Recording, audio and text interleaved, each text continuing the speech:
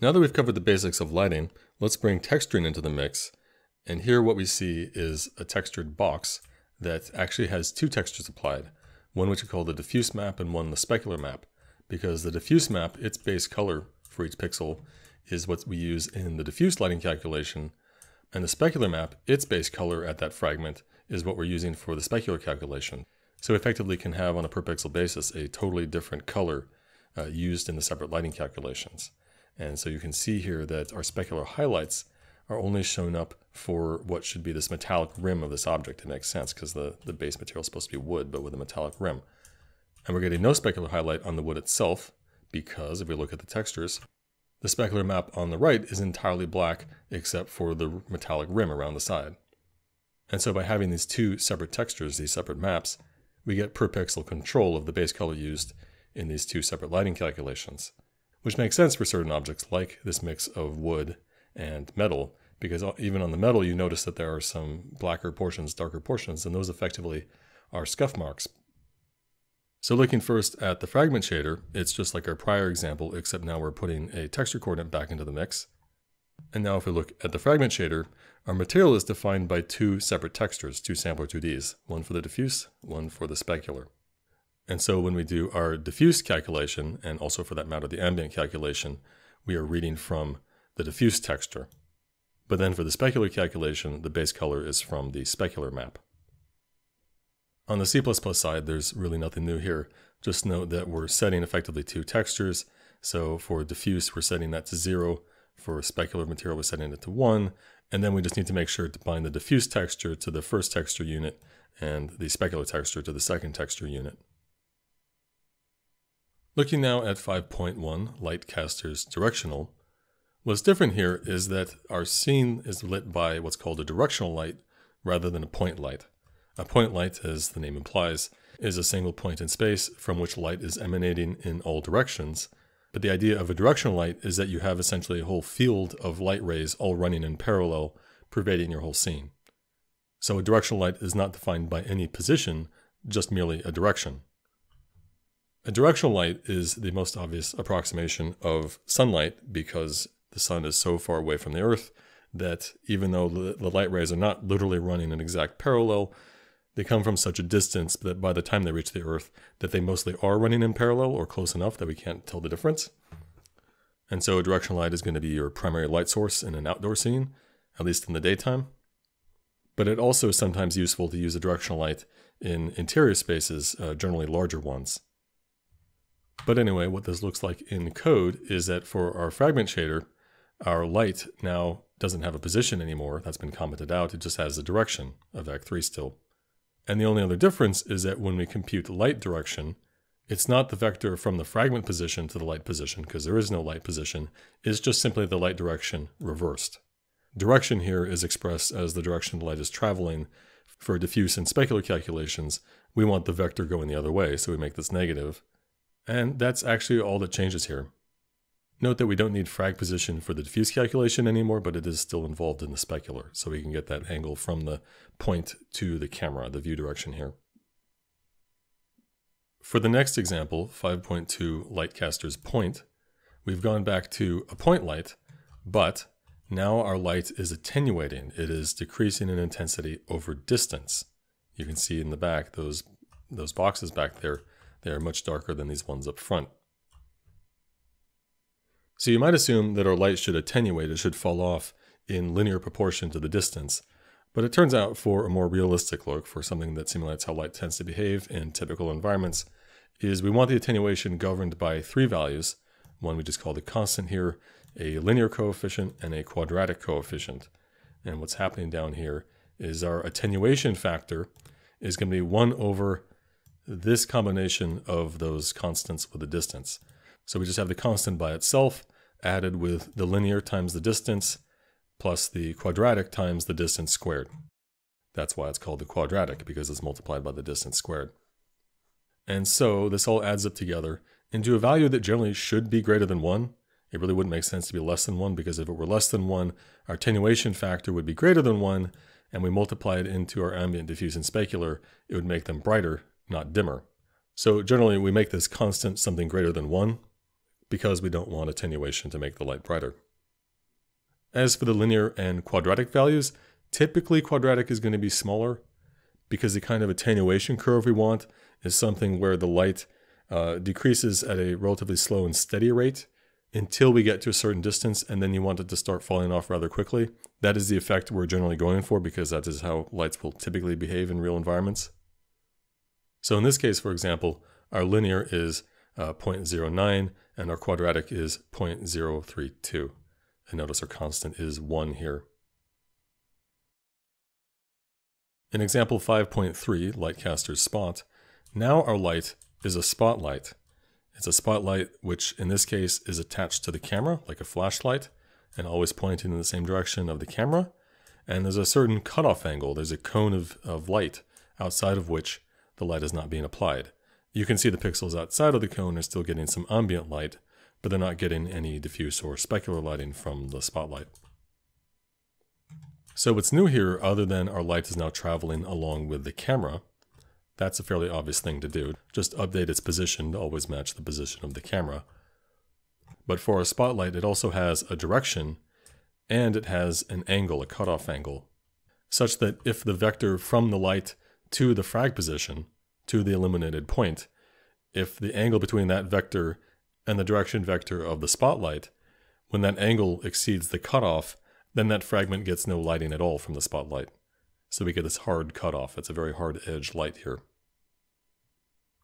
So in our C++ code for the light, we're setting its position to be the same as the camera. We're setting its direction to be the same as the camera.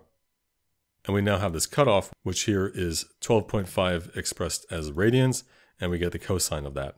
And we want the cosine, not the actual uh, radians or degrees, because in the fragment shader, when we compute the angle, it's by getting the dot product, and the dot product is equal to the cosine of the angle. So looking at the fragment shader, we get the light direction just like for any point light. We get its dot product with the direction of the spotlight, though reversed.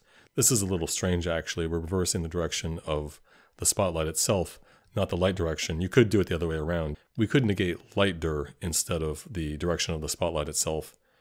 Either way, we'll get the same result. We store as theta. And if this theta is within our cutoff, then we're in the bounds of the cone of the spotlight. Remember that for cosines, when the angle is zero, the cosine is one, and as the angle increases, the cosine shrinks. So that's why this is a greater than test, not a less than. For smaller angles, the cosine is larger. So, if this condition is true, then we do our diffuse and specular calculations and attenuate them. Notice that in this example, we're not attenuating the ambient, because in this example, that's not the effect we're going for. We want to be able to see those boxes just a little bit, even if they're in the distance and outside of our spotlight. In the next example, 5.4 Lightcaster's Spot Soft, you can see that our spotlight now doesn't have a hard edge. It fades from full intensity to uh, blackness at the edge. So what's going on here is now in addition to the cutoff, we have an outer cutoff of some larger degree, in this case 17.5 degrees. And if we look at the fragment shader, rather than making the diffuse and specular calculations conditional, instead we're computing this intensity value. And the way this will work out is when theta here is within the inner cutoff, then the intensity will be 1. When it is outside of the outer cutoff, it'll be 0. And then for everything in between, it'll transition between 0 and 1. From the outer, it starts at 0, and as it works towards the inner, it increases to 1.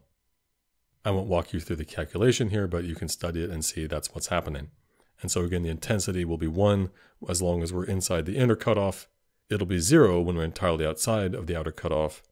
And in between, it transitions from 0 to 1 in a linear fashion, creating that soft edge effect. For our last lighting example, we now have multiple lights combined together into one scene. There are multiple point lights, as you can see from each of the boxes. There are four, it looks like, yes. Uh, and we have a directional light lighting up the whole scene pervasively. And we also have a spotlight. So now in the fragment shader, we have separate structs for directional light, point light, and spotlight. And for our uniforms, we have one directional light, one spotlight, and an array of point lights. So now because the code for this fragment shader is getting a little verbose, it's been split up into separate functions.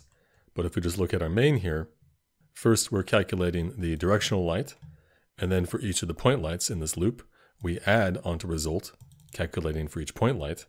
And then lastly, we add on to the result what we get from calculating the spotlight, and we get one resulting frag color in the end.